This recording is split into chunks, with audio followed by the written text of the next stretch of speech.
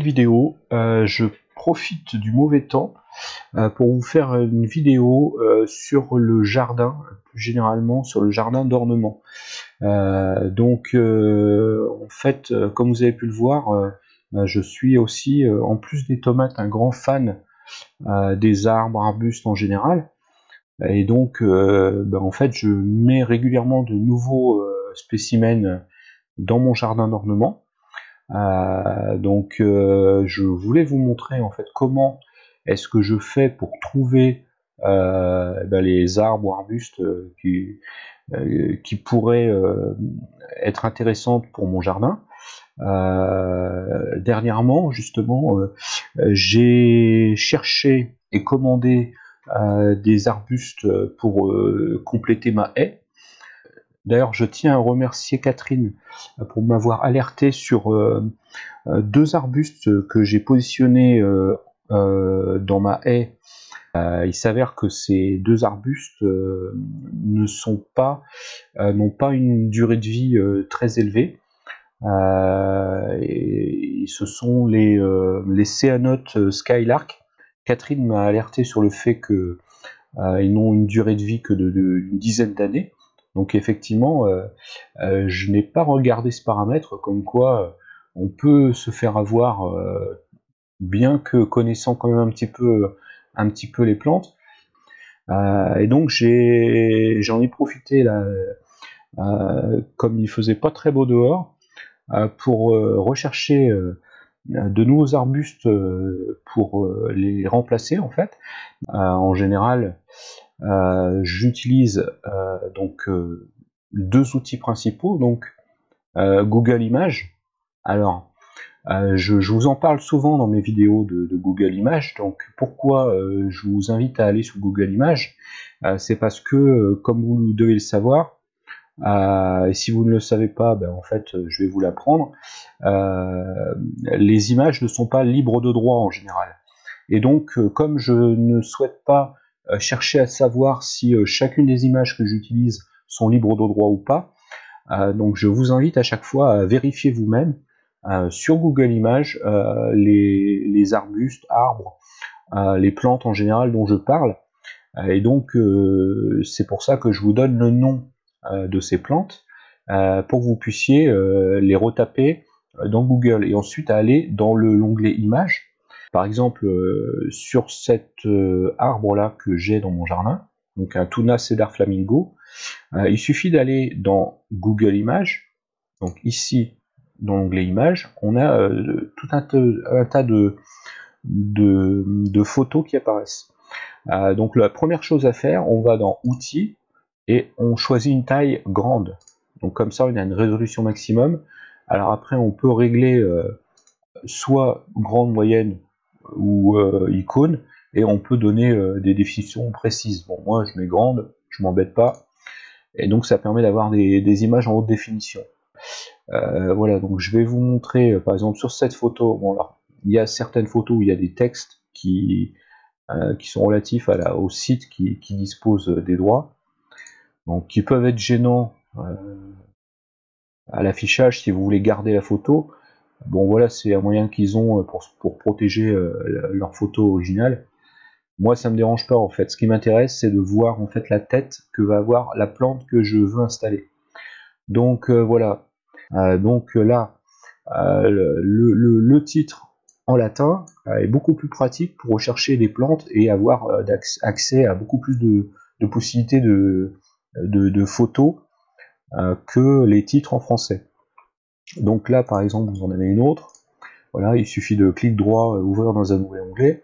Voilà, on voit la photo. Ici, on peut consulter. Euh, donc avant, ça faisait apparaître l'image euh, directement. Maintenant, ça pointe sur le site où se trouve la photo. Donc ensuite, il suffit de cliquer sur le site, faire un clic droit, enregistrer l'image sous, et là, on peut enregistrer. Donc là, voilà, là, il y a des textes. Donc c'est vrai que c'est pas génial si on veut se faire une petite un petit diaporama, mais bon voilà, euh, c'est un moyen de protection, euh, donc euh, donc voilà.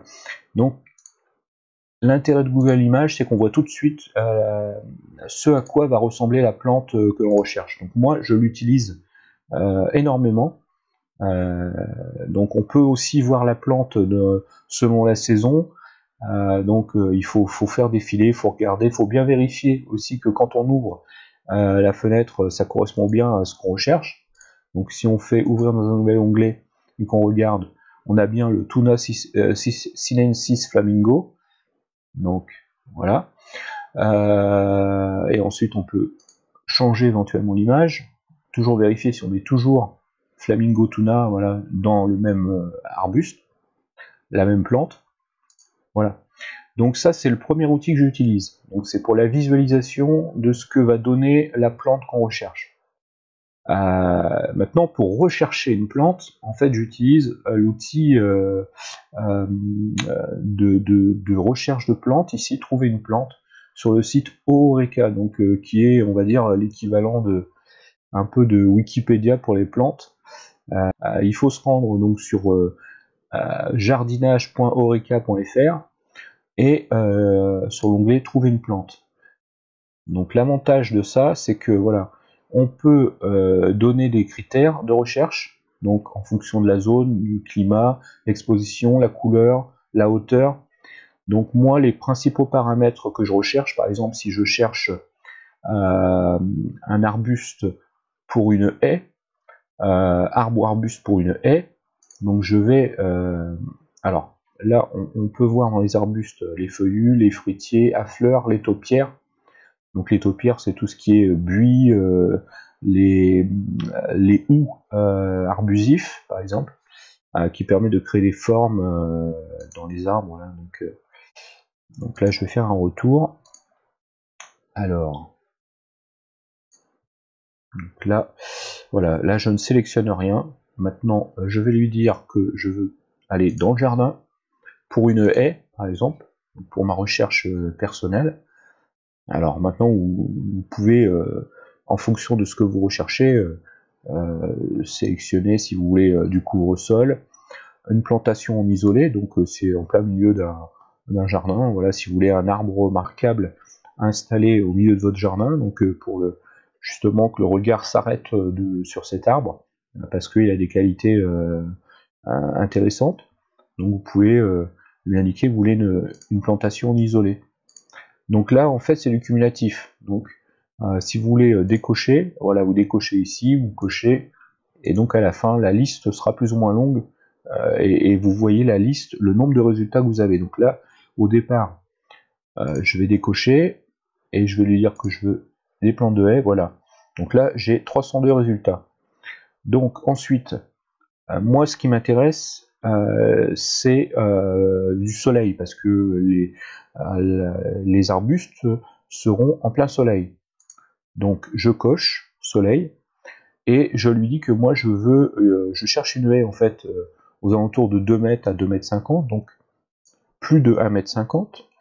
Euh, on peut lui dire si le besoin en eau doit être faible, moyen. Bon, moi, ce que je fais, c'est que j'ajuste ces paramètres-là uniquement si j'ai trop de résultats à la fin. C'est pas les paramètres principaux pour moi. Euh, un des paramètres principaux pour une haie, c'est de savoir si on est sur euh, un arbuste persistant ou caduc. Donc euh, soit un arbuste qui va garder ses feuilles en hiver ou qui va les perdre. Donc caduc, les feuilles tombent en hiver. Donc moi, je cherche un arbuste persistant. Ensuite, je me trouve dans une zone qui est assez rude en hiver, qui a un climat assez rude. Donc euh, chez nous, il peut faire jusqu'à moins 15, moins 20. C'est euh, c'est pas fréquent, mais euh, ça peut arriver. Donc il vaut mieux dans ce cas-là choisir une résistance maximum. Voilà, donc on voit déjà que le nombre de résultats au fur, au fur et à mesure s'affine et donc diminue. Donc on peut donner par exemple des mois pour la floraison. Donc là on voit les, résultats. Euh, où on ne fait rien et euh, on, essaie d'affiner autrement. On peut le faire aussi avec la nature de la terre. Donc moi j'ai une terre qui est plutôt argileuse. Euh, terre de bruyère, c'est pas pour moi. La terre de bruyère, c'est plus quand on a une terre acide, proche de sapin par exemple, ou si la terre est naturellement acide. Donc ça, il faudrait mesurer le pH de la terre si vous avez un appareil pour mesurer le, pH. Donc je vous mettrai un lien pour ce type d'appareil. moi j'en avais déjà un, mais F1 RCX dans, une de ses vidéos a montré en fait l'utilisation de ce, type d'appareil, ainsi que David et Linda, la chaîne de David et Linda. David a montré aussi l'utilisation de ce type de testeur de pH. Euh, donc moi, euh, par exemple, je pourrais déterminer euh, le type de terre argileuse. je vais pas le faire en fait. par contre, le pH du sol, ça, ça m'intéresse parce que j'ai pas de terre acide, j'ai pas de terre, je ne cherche pas une plante qui va dans une terre acide ou alcaline. Donc je vais plutôt dans une terre neutre. Alors, euh, donc on a l'humidité du sol si on veut affiner. Moi j'ai déjà 59 résultats. Euh, ce paramètre-là est aussi intéressant. Donc euh, si on veut une croissance lente, normale ou rapide. donc lente, l'avantage bien sûr c'est qu'on va tailler moins souvent. par contre on va attendre très longtemps avant d'avoir la plante. à l'opposé, rapide, la plante, la plante va pousser très rapidement, mais bien sûr ça veut dire qu'il va falloir la tailler beaucoup plus souvent. Donc à vous de déterminer ce que vous voulez faire. Euh, si je détermine normal, par exemple, je vois que je n'ai que 18 résultats. Euh, on peut cumuler aussi avec une rapide. Euh, si je mets que rapide, j'ai 25 résultats. Donc moi, si je veux avoir une haie rapidement, admettons que je sélectionne le critère rapide. Ce critère-là ne m'intéresse pas. donc maintenant, il me suffit de cliquer sur voir les 25 résultats et apparaissent voilà les plantes que je suis susceptible de pouvoir mettre euh, dans mon jardin, donc des plantes à pousse rapide, euh, qui sont euh, donc persistantes, qui ne perdent pas leurs feuilles. Voilà, donc j'ai tout un tas de, de plantes qui apparaissent. Alors, ces résultats sont à prendre avec des pincettes, parce que vous allez voir que les résultats ne sont pas forcément toujours pertinents. Euh, par exemple, euh, il me semble que euh, alors certains arbres comme le calistémon, qui s'appelle aussi le rince-bouteille, voilà, donc ce sont des, arbustes qui résistent à, des températures assez faibles. Alors, on a ici deux résistances, parce que en fait, il y a un, un, un sujet, en fait, un, on va dire une variété parmi les calistémons qui, est rustique, et donc qui est rustique jusqu'à moins 16. Voilà. Euh, par contre, tous les autres euh, sont très peu rustiques, ou beaucoup moins en tout cas, là, moins 12. Donc moi je le prendrai pas parce que si c'est pas en dessous de moins 15, ça m'intéresse pas.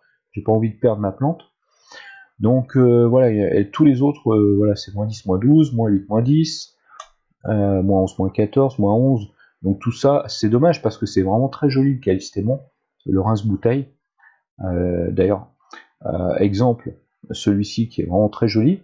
Euh, si je fais un copier-coller du texte, donc je fais un CTRL C, je vais faire un CTRL V ici, donc voilà, et que je vais voir la tête que ça, voilà, on voit que vraiment ça peut être vraiment très sympa.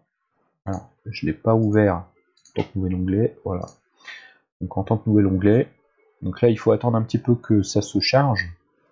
Après ça dépend de, votre bande passante et de la taille de l'image. On voit qu'on est en taille maximum, donc euh, c'est très long à charger. Donc voilà, vous voyez, on a un arbre qui est vraiment euh, très joli. Euh, mais bon, voilà, c'est il y a des contraintes. la seule couleur euh, qui, est rustique, euh, vraiment très rustique, donc euh, jusqu'à moins 15 et au-delà. c'est une couleur un peu blanche en fait, blanche. bon voilà, c'est pas vraiment une jolie couleur. Enfin, en tout cas, c'est pas une couleur qui m'intéresse. par contre, voilà, il y a des éléanus. Donc clic droit, nouvel onglet. Alors, l'avatar, moi j'ai essayé, je, je trouvais pas ça très joli comme branche en fait. L'arbuste lui-même, je le trouvais pas très joli. Euh, les cyprès, ben, en fait, on est proche euh, de sapins. Voilà, c'est un peu le standard qu'on trouve euh, dans beaucoup de jardins. En fait, moi, je j'avoue que je, c'est pas le type de, choses qui me branche. en plus, j'ai j'ai aucun sapin en fait. vous avez dû remarquer dans mon jardin. le seul sapin, entre guillemets de la famille des sapins que j'aurais aimé avoir, ça serait le pin parasol. parce que je le trouve très joli. Par contre, j'ai pas la place de le mettre. ça drageonne beaucoup en fait. les racines sont très puissantes. donc il faut le mettre assez éloigné d'une maison. Et moi là, j'ai plus de place pour le mettre, mais j'aurais bien aimé avoir ce type d'arbuste. Donc on a euh, des troènes, des philostachys. Donc je vous ai parlé des, des, bambous euh, dans une précédente vidéo sur le, un grand tour de jardin. Donc je vous déconseille hein, perso euh, les philostachys parce que il faut mettre des, barrières anti-rhizomes parce que le bambou philostachys se développe par les racines qui sont dans le sol et les racines aériennes qu'on appelle rhizomes en fait. Euh, donc euh, ça devient assez vite incontrôlable et euh, c'est beaucoup de contraintes, notamment pour enterrer des barrières à 80 cm de profondeur. Donc si vous avez une pelleteuse, très bien. si vous n'en avez pas, bah, il vous reste la pelle et la pioche. Donc moi, c'est pas quelque chose que j'avais envie de faire. J'avais pas envie de me casser le dos pour installer ce type de ce, type de plante. Donc les philostachys, non. Euh, par contre, vous voyez, on ne voit pas euh, les, euh, les Fargesia. Les sont aussi des bambous qui pourraient servir de haie. Donc, bon, pourquoi ça ne sort pas? Je ne sais pas.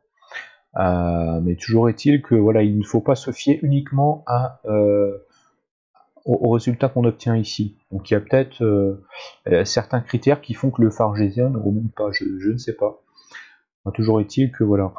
Euh, c'est un outil, maintenant voilà, il n'est pas parfait, mais ça permet vraiment de, dégrossir. Alors il faut pas non plus, euh, comme je vous dis, euh, prendre tout au pied de la lettre, dans le sens où il peut y avoir des erreurs. Alors, autre paramètre à prendre en compte, voilà donc Eleanus. Donc quand vous ouvrez la fiche d'un arbre ou un buste, vous avez quelques photos, euh, donc les, choses intéressantes, bien sûr, ce sont les expositions. Donc euh, bien respecter euh, les expositions. L'exposition, d'ailleurs, souvent, on peut avoir soleil et mi-ombre, mais il faut bien lire le texte parce que quelquefois, on, nous indique que il peut aller au soleil et à mi-ombre, mais il préfère la mi-ombre. Donc, donc vraiment bien lire le, texte qu'il y a ici parce que euh, les, petits logos ne veulent pas forcément dire quelque chose. D'ailleurs, euh, souvent quand on a les trois, soleil, mi-ombre, ombre, ça veut dire que souvent il vaut mieux rester à la mi-ombre. Euh, parce que il, va moins bien se développer, ou alors il ne fleurira pas aussi bien. Donc voilà, il faut vraiment faire très attention à ce paramètre-là. ici, on a le besoin en eau, donc faible. Euh, donc ça c'est aussi intéressant, hein, parce que s'il a un besoin élevé, ça veut dire qu'il faudra l'arroser même en été si vraiment à un moment donné il commence à se dessécher. On a l'entretien, donc si c'est facile ou pas, donc là c'est très facile. Euh, on a la hauteur à maturité, donc 2 à 10 mètres, et la largeur à maturité 2 euh, mètres. Alors ces paramètres-là, c'est pareil, c'est à prendre avec des pincettes parce que ils ne sont pas forcément justes. Moi j'ai remarqué qu'il y avait eu des erreurs déjà sur certaines plantes.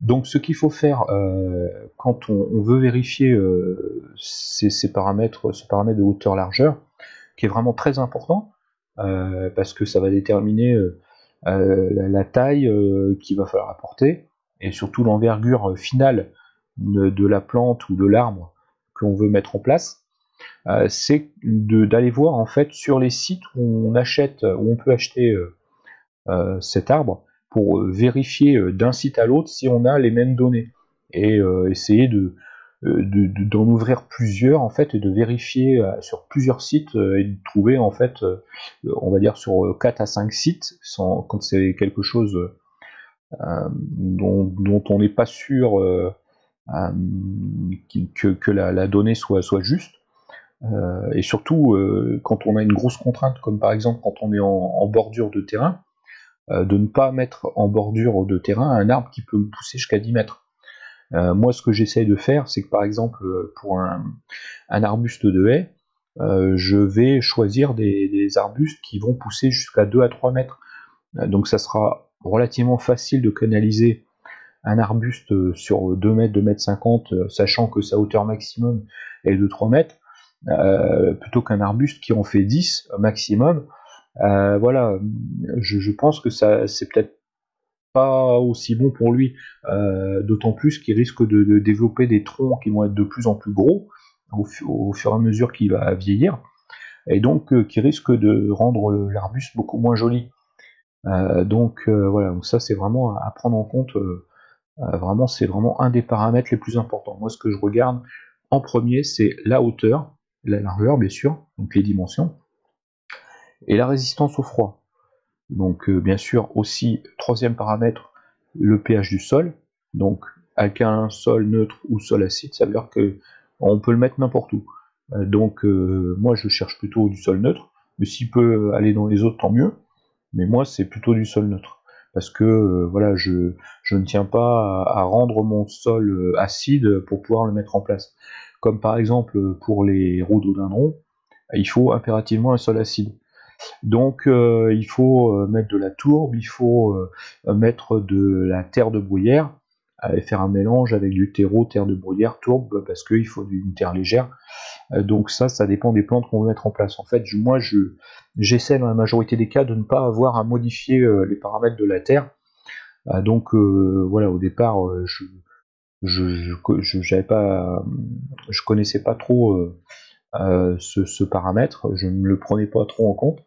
Et maintenant, je, je, préfère justement rester sur des sols neutres et éviter en fait tout ce qui n'est pas sol neutre ou en tout cas tout ce qui ne peut pas s'adapter dans un sol neutre. Donc euh, euh, comme là euh, la plante s'adapte dans tous les sols, donc voilà, moi c'est ce que je recherche, soit dans tous les sols, soit en sol neutre. Donc voilà, donc on a des informations intéressantes. Donc la, plantation mars ou septembre. Bon, ça c'est les recommandations. L'avantage quand vous plantez un arbre, un arbuste, ou même un buisson, je ne sais pas. Euh, s'il est en motte, vous pouvez le planter, euh, je dirais, du 1er janvier au 31 décembre. Enfin, j'exagère, mais euh, en gros, voilà, théoriquement, on peut le faire tant qu'il ne gèle pas. On, peut, on peut le faire. maintenant, il est évident que l'idéal pour la plante, c'est de la planter à l'automne. pourquoi? Parce que par rapport au repos végétatif euh, c'est beaucoup mieux pour elle. Et euh, en plus, euh, l'avantage c'est que vous n'aurez pas ou peu à arroser. Donc après, c'est selon ce que vous, le temps que vous êtes prêt à passer, à arroser régulièrement la plante, on va dire la première année, parce que la première année, il faut que la plante soit vraiment régulièrement arrosée pour qu'elle s'en plante le mieux possible. Donc si vous faites de l'arrosage manuel à l'arrosoir ou au tuyau d'arrosage, comme euh, je le fais moi euh, pour le moment. Euh, bon ben voilà, c'est du temps qu'il faut qu'il faut compter dans le, soin que vous apportez à la plante que, vous mettez en place. Ça, moi je suis prêt à le faire. Tout le monde n'a pas forcément envie de faire ça. Donc je comprends parfaitement et dans ce cas-là, je vous recommande plutôt de faire ça à l'automne. De toute façon, c'est la meilleure saison pour mettre des plantes en terre, hormis certaines plantes qui elles euh, ont besoin de, plus de temps pour s'implanter, euh, où il vaut mieux les faire plutôt euh, au printemps. Donc bon, en général c'est plutôt l'automne, mais bon, c'est indiqué hein, quand il est préférable de le, faire au printemps. Et donc on a la floraison aussi qui est intéressante, donc mai, juin, juillet, octobre, novembre. Donc ça ne veut pas dire que forcément que la plante fleurit de mai à novembre, mais euh, selon la variété, parce que il y a pour une même plante, on a plusieurs euh, plusieurs variétés. Certaines euh, fleurissent, par exemple, de mai à juin, d'autres de juillet à octobre, d'autres uniquement en novembre. Donc après, il faut vérifier dans la fiche. Donc moi, je lis en fait en général tout ça, même si je vais d'abord voir les informations principales. Donc d'abord le tableau, ensuite je vais voir euh, donc euh, si, les informations correspondent à ce que je recherche. Ensuite, je vais voir euh, les déclinaisons qui existent pour une même plante. Et je regarde, bien sûr, certaines m'intéressent plus que d'autres, comme celle-ci qui résiste à moins 1. Donc celui-ci, ben, ils m'intéressent. D'autres par rapport à la taille, donc voilà, jusqu'à 3 mètres d'eau sur 1 mètre 50, donc très bien. Par contre, je n'ai pas l'indication de, température. Donc ça, il faudra le vérifier justement sur les sites sur lesquels je vais acheter la plante, si c'est celle-ci que je souhaite acheter. Donc voilà, ici 2 mètres en tous sens, donc ça c'est très bien. 2 mètres en tous sens, euh, euh, ça veut dire qu'il y aura beaucoup moins de, taille. Euh, bon, il, poussera un peu plus que 2 mètres forcément, hein. mais en tout cas moins par exemple que celui-ci. petit arbre de 7 mètres. donc là, je vais plutôt éviter. Hein. par contre, très rustique, jusqu'à moins 45. Donc, donc voilà, c'est moins 40 plein soleil. Donc euh, voilà, pour une même plante, il y a parfois des différences au niveau de l'ensoleillement. Donc ça, il faut bien vérifier, euh, il faut bien vérifier tout ça selon la plante qu'on veut mettre en place. Donc euh, voilà, par exemple le goumi, Lianus multiflora. Donc voilà, on a ses qualités, moins 25 à moins 30 en haie fruitière. donc ça peut être intéressant aussi pour les oiseaux. les oiseaux, par exemple, si on veut garder les oiseaux sur son jardin, euh, eh ben, c'est intéressant de mettre des arbustes qui font des, petits, euh, des petites baies euh, pour eux en hiver, comme celui-ci par exemple, les Leanus multiflora. aussi les pommiers à fleurs, moi j'en ai mis deux, j'en avais trois mais j'en ai donné un. donc le, pommier à fleurs Malus Everest et Prairie Fire. Donc ça c'est deux arbustes qui font des, petits fruits.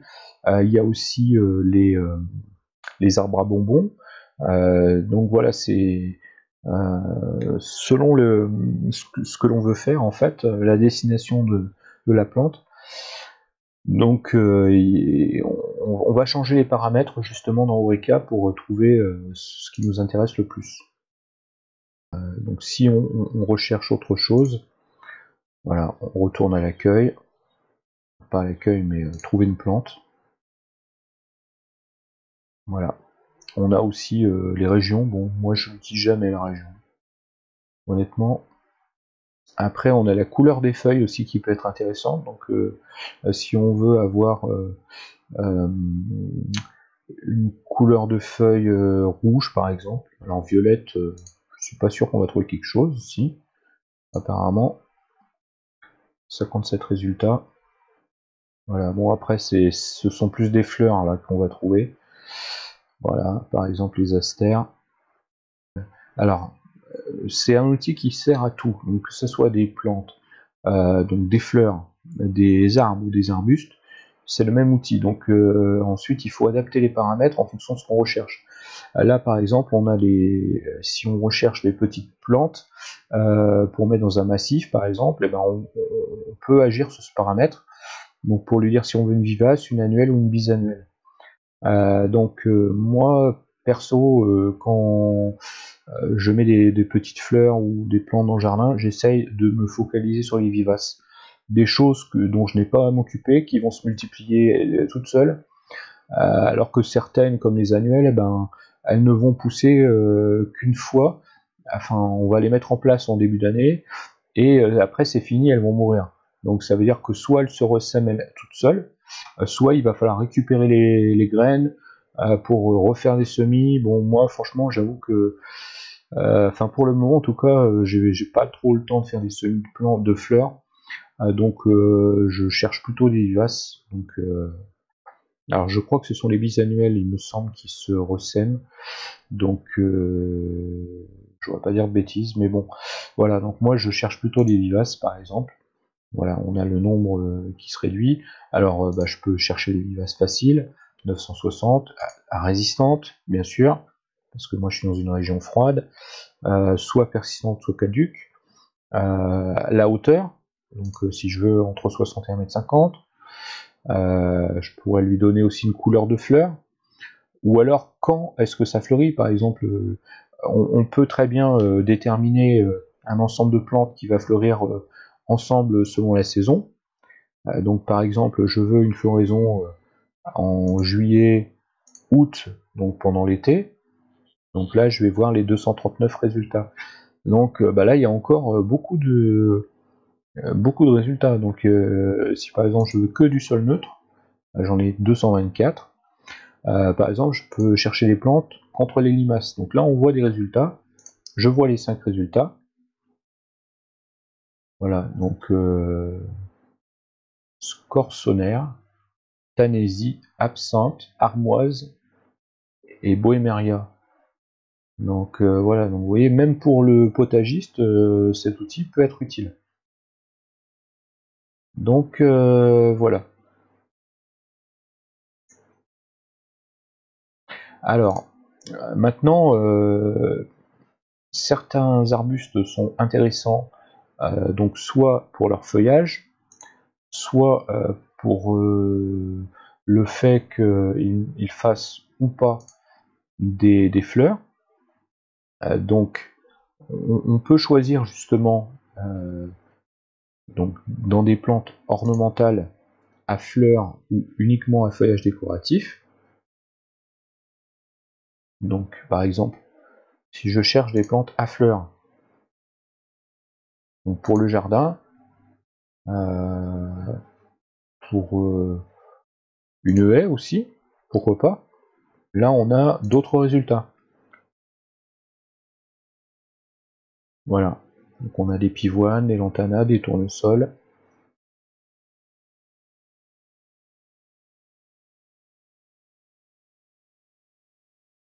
Voilà, de la, verveine de Buenos Aires. Donc euh, voilà, donc après c'est à, vous d'utiliser cet outil et de, modifier les paramètres euh, pour vraiment trouver euh, ce que vous recherchez. Il est vraiment très utile ce, site Oreca et on a quand même des informations intéressantes. Donc, bon, certaines, comme je vous le dis, ne sont pas toujours justes, notamment sur la hauteur. Donc, méfiez-vous. Il y a aussi le fait que certains arbres sont annoncés comme persistants, alors qu'en réalité, ils sont semi-persistants. Euh, donc semi-persistant, ça veut dire que une partie des feuilles euh, va rester sur l'arbre, l'autre va tomber, ou euh, les, feuilles tombent lorsqu'elles sont remplacées par des nouvelles. Donc il y a toujours un moment où il y a un petit peu moins de feuillage. Donc si vous voulez avoir une haie un peu brisue, ça peut poser problème. donc ça c'est selon euh, euh, vos, besoins. Bon, moi je recherche plutôt une haie euh, brisue permanente. donc, mais certaines plantes, selon l'endroit où on le place, ça peut être intéressant d'avoir une haie caduque par exemple. Donc bon voilà, c'est vraiment au choix. Donc en, plus de ce site, il, est toujours intéressant de faire des recherches, soit euh, sur internet directement, donc dans Google, euh, soit sur des blogs. Donc moi j'ai passé beaucoup de temps euh, sur, des blogs et notamment sur un blog que je vais vous montrer là voilà qui s'appelle les roses du jardin Shenland donc le jardin de, de donc ça c'est en fait une, dame qui se trouve dans la même région que moi donc qui se trouve dans le Rhône et donc c'est pour ça que je et qui explique ce qu'elle fait. Donc elle a un jardin de 2000 m2 dans la région Rhône-Alpes, donc euh, qui se trouve dans le Rhône en réalité. Donc euh, qui a un climat qui est quand même relativement proche du mien. Donc si vous euh, vous rendez sur des blogs, bah, je vous invite à essayer de trouver des personnes qui sont dans votre région. Ou si vous allez sur des chaînes YouTube qui parlent de, de jardins d'ornement, euh, de, trouver des personnes qui se trouvent dans la même région que vous, parce que euh, euh, vous aurez moins de questions à vous poser concernant les plantes que vous pouvez installer. Vous pourrez voir, découvrir des nouvelles plantes, arbres ou arbustes, bah, que, les personnes ont mis en place. Vous verrez ce que ça donne tout de suite. Donc moi je, trouve que, que ce site en fait, ce, ce, blog en fait, il m'a vraiment bien aidé pour démarrer euh, mes recherches. Donc euh, j'adore les rosiers et la personne euh, dont je vous parle ici, elle en a, je crois, 200, je crois, au moins une, enfin, au moins une centaine, ça c'est sûr, mais il me semble que c'est, ça doit être 200. Je ne sais plus si elle l'indique au début de dans le commentaire, mais bon, voilà, 250 rosiers. Donc bon, elle est amoureuse des rosiers. Hein. Moi j'adore les rosiers aussi, donc voilà, c'est comme ça que j'ai connu par exemple le rosier American Pilar, qui est un rosier non remontant, donc il ne fleurit que pendant un mois et ensuite c'est fini. mais par contre il est vraiment très joli. donc voilà. bon, si vous voulez jeter un coup d'œil euh, sur, sur son blog, euh, allez-y. Hein. Euh, donc il y a les rosiers, les œufs aussi. il y a, voilà, il y a les phlox, les prunus cerulata. Donc il y, a, tout un tas de voilà des géraniums. il y a tout un tas de, plantes de rhododendron, des pivoines, voilà, des hydrangeas. Donc qu'elle a répertorié, qu'elle a dans son jardin. Donc vraiment, son jardin est vraiment très fleuri moi, je, je, pense pas que je me rapprocherais d'une telle, densité, mais euh, j'aime beaucoup en fait euh, les jardins euh, qui sont assez denses. Donc après, c'est ce sont mes goûts. Hein. je comprends que d'autres personnes préfèrent un jardin avec quelques massifs, planter ça et là dans le jardin pour les mais avoir quand même de, de, grandes surfaces de pelouse agrémentées de quelques massifs moi, c'est pas euh, c'est pas mon, choix, c'est pas mon envie. Donc euh, voilà, chacun euh, fait ses choix en fonction de ce qu'il a envie de mettre en place. Donc voilà, donc je vous recommande quand même d'aller voir sur ce type de, de blog. Donc vous pouvez vous rendre sur ce blog si vous en avez envie ou d'autres. D'ailleurs, elle répertorie énormément de d'autres blogs à la fin de. Mais voilà, c'est ça, c'est ici. Donc il y, a tout un tas de d'autres blogs euh, qui sont en lien sur, euh, sur, sur sa fiche, donc vraiment il y en a énormément. Hein. Donc euh, voilà, donc voilà les jardins à voir, donc vous pouvez vraiment en visiter beaucoup. Donc moi j'adore passer du temps à regarder les blogs comme ça. Donc c'est vrai que je suis pas que sur YouTube, je regarde aussi de temps en temps les blogs. Donc c'est pour ça que j'ai pas forcément beaucoup de temps à passer sur YouTube. Euh, enfin, j'en passe beaucoup, mais euh, je, euh, comme je regarde aussi d'autres choses, j'ai un temps assez limité pour faire tout ça. Donc voilà. Donc en plus des, des, arbustes à fleurs, décoratifs par leur feuillage, il y a aussi les arbustes qui sont décoratifs par leurs écorces en fait, ou par leur forme. donc vous pouvez en fait taper euh, dans Google. Voilà, arbuste, euh, arbre à écorce décorative. Et donc vous allez avoir tout un tas de liens euh, vers des sites qui en parlent, comme celui-ci par exemple, arrosoir et sécateur. Donc vous avez bah, vraiment des, beaux, des beaux arbres arbustes là qui sont vraiment intéressants. Hein. donc bien sûr la liste est loin d'être exhaustive comme l'indique le site. Voilà, donc vous avez cet arbuste là. Donc encore une fois, quand vous voulez vérifier avoir d'autres photos que, celle-ci, vous faites un CTRL C, vous allez dans Google Images, vous tapez CTRL V, Entrée, voilà, et vous voyez en fait d'autres photos, euh, d'autres angles, d'autres possibilités de, visualiser la plante. Voilà, là où on a un gros tronc, et ensuite, il suffit d'aller voir. Voilà, ça peut être intéressant d'avoir ce type d'arbre, surtout quand on a un terrain euh, très grand. Euh, donc voilà. Vous voyez, c'est quand même assez joli. Hein. Voilà, c'est dans un cimetière. mais bon, dans un jardin, ça le fait. Hein. Franchement, après, voilà, il faut aimer ce type de forme. Ça ne plaît pas à tout le monde. Moi, je trouve ça assez joli si j'avais un terrain plus grand. Euh, il est clair que je pense que j'en aurais mis quoi. Vraiment, euh, il y a vraiment de quoi, de quoi s'amuser entre guillemets. Donc euh, voilà, donc là, donc ça c'est des, écorces qui desquament. Donc, donc ici aussi sur ce site jardinier professionnel. Bon voilà, là, voilà, on vous parle d'autres plantes. Alors euh, bah, ça, ça fait partie des plantes que j'aimerais avoir. Enfin, j'en ai, j'en ai installé un, euh, mais euh, j'aimerais en installer d'autres, notamment pour l'hiver. Il y a un intérêt en hiver, c'est que quand toutes les fleurs, les fleurs et les plantes sont parties, il reste l'écorce et, notamment sur les cornus, donc les cornouillers. on a des Cornus sanguinea, des Cornus alba siberica, des Cornus stolonifera, donc les Flaviramea, donc ont des écorces, des tiges jaunes, là rouge, rouge sang souvent.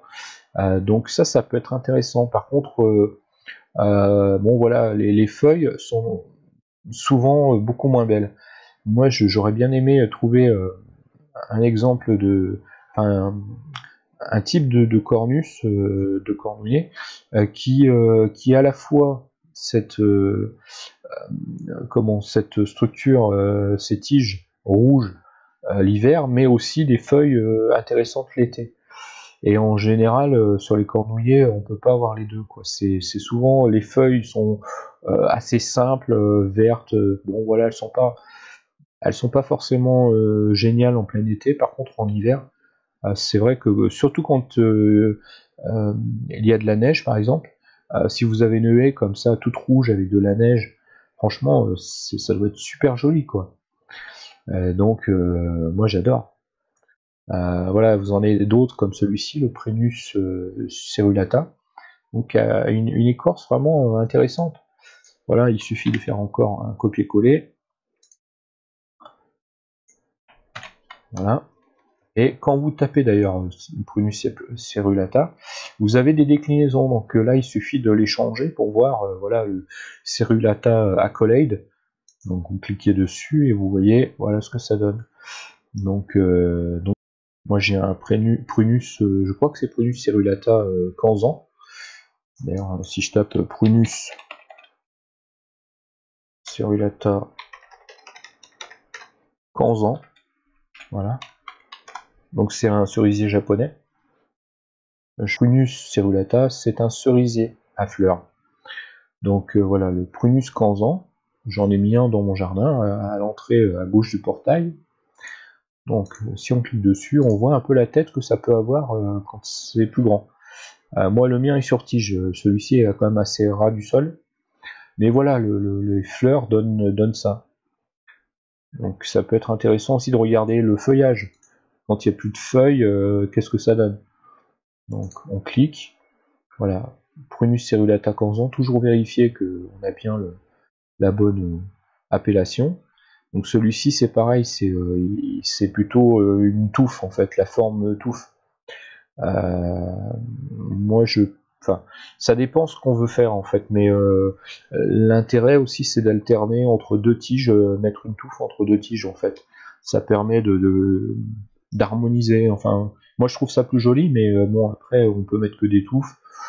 C'est vraiment selon les goûts. Hein. C'est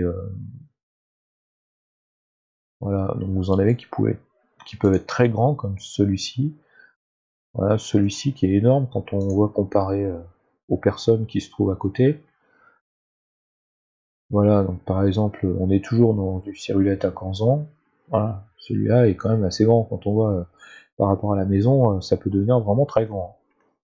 Voilà, ici, toujours pareil, cirulette à Kanzan, donc euh, on voit les personnes qui sont dessous. Donc non, c'est c'est un bon moyen en fait de, vérifier ce qu'on veut mettre en place. Parce que les photos qui se trouvent quand on va dans, en jardinerie, euh, sur une petite étiquette, souvent sont soit mal prises, euh, soit sont des gros plans. Donc euh, comment est-ce que vous pouvez estimer la taille qu'elle va avoir la, plante ou l'arbre quand vous voyez un gros plan? C'est pas possible. donc voilà, moi je vous, je vous conseille de, passer par Google Images. D'ailleurs, maintenant quand je vais en jardinerie, ben, je prends mon portable et mon smartphone et puis je regarde. Et, l'avantage, on peut immédiatement voir ce qu'on recherche et ensuite passer commande. Donc, euh, mais bon, la jardinerie c'est bien aussi parce que les arbres sont acclimatés euh, parfois selon les jardineries. Euh, moi, j'ai des jardineries qui souvent font venir les arbres d'Italie, donc en réalité, ils sont pas plus acclimatés que ceux qu'on trouve sur Internet. Donc, il faut se méfier un peu de, des jardineries euh, locales, euh, il faut vraiment euh, passer par des gens qui qui font vraiment pousser les plantes eux-mêmes et qui ne sont pas simplement des revendeurs de plantes. Certains, certaines pépinières sont sur internet, donc ils font pousser eux-mêmes leurs propres arbres, fleurs et les revendre. Donc là, ça peut être intéressant aussi. Vraiment, là, bien qu'on achète sur Internet, on tombe sur des, des vraies pépinières. Donc ça, c'est possible aussi.